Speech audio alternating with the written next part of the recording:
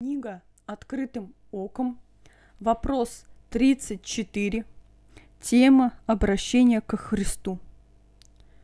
Кого считать своим духовным отцом? Батюш, батюшка здесь э, бывает редко, и меня лично духовно ничему не научил пока. Отвечает Игнатий Тихонович Лапкин.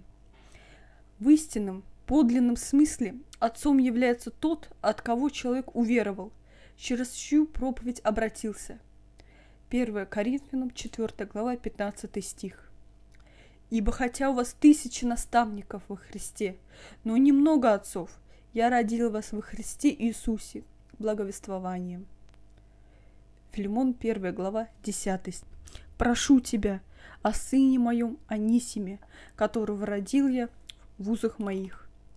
Смешно смотреть сегодня на безустных отцов, важно щеголяющих по храму с широкими рука... рукавами ряс.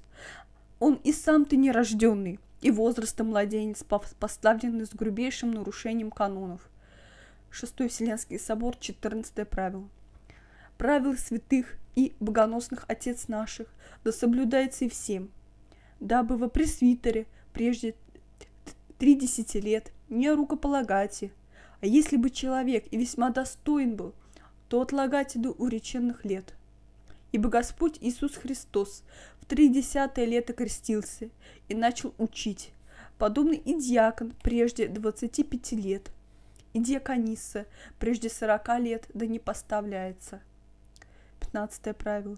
И подьякон да поставляется не прежде двадцати лет возраста – если же кто в какую бы то ни было священную степень поставлен будет прежде определенных лет, да отвержен будет.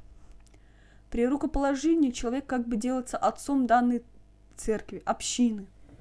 В ЗАГСе сего не будут регистрировать десятилетних детей. Существует возрастной ценз в каждом государстве – Согласно дореволюционному российскому закону, если священник обвенчает на несколько лет раньше уреченных лет жениха и невесту, то закон гласит запретить его в служении на столько же лет. Если при венчании помогал дьякон, то он запрещался наполовину этого срока. По смыслу этого уложения все архиереи в России, за рубежом и у старообрядцев должны быть запрещены служением на определенное количество лет – насколько раньше рукоположили. Евангелие от Матфея, 23 глава, 9 стих. «И отцом себе не называйте никого на земле, ибо один у вас Отец, который на небесах».